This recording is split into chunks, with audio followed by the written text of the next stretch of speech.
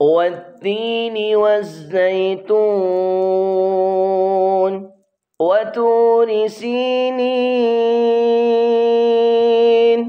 وهذا البلد الأمين.